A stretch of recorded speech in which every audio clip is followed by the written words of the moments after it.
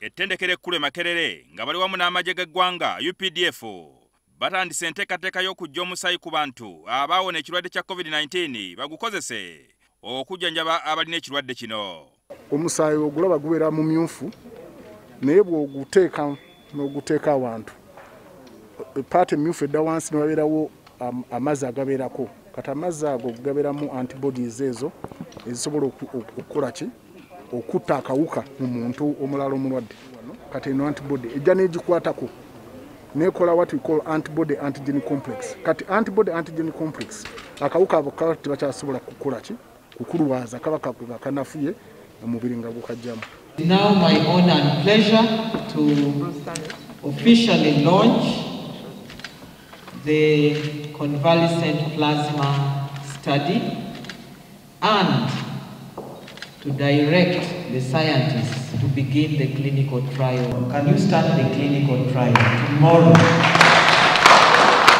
oba oli awo eno yeneeba entandikwa y'akaweefube okulwanyisa ekirwadde ki covid-19 bano bategeeza nti bakuŋŋaanyiza omusaayi ku bantu abali balina covid-19 ne bajjamu ekirungo oba antibodies obuwuka obusobola okulwanyisa ssenyiga omukambwe kati tutandise okunoonyereza ku musaayi ogwo ku plasma oyo. Saagala guyita musaayi kubanga si musaayi tujja ku plasma yekka gwe tukozesa. Okulaba nti singa omuntu ono yalwala n'akola antibodies ezo ezatta akawuka n'awona okitegeere ng'awonye.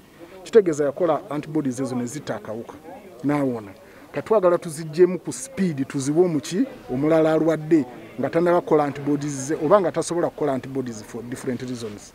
Bwatuukidde olunaku lw'eggulo nga uganda yakafiirwa abantu ataano mu munaana. So nga abantu abasukka mu nkumi ttaano be bakakwatibwa ekirwadde. Okusobola okutwala okunoonyereza kuno mu maaso. Baagala bannayuganda abaawona covid-19 baveeyo bagabe omusaayi. Tujja kutandika enkyera nga minisita bw'agambye. Kati abantu abaawona korona bonna nga bali wiringa okuyamba bannaabwe kati abalwadde balina kujja wano emulago mulago. Empya eno gye balino vetinze ne tu- ne- ne ne bagaba omusaayi ne tukolamu gundi plasma ono Please come and donate.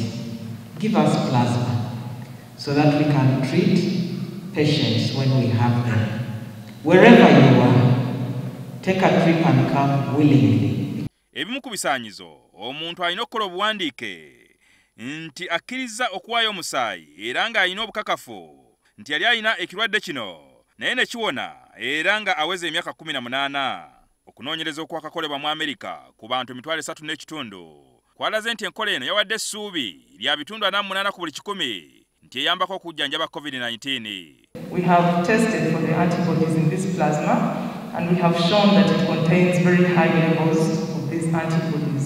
minisita achenga alabudde bannayuganda abakyalowooza nti covid-19 taliiyo We started from one, Ugandans thought it was a joke. The numbers are climbing up every day. We have now gone to three per day.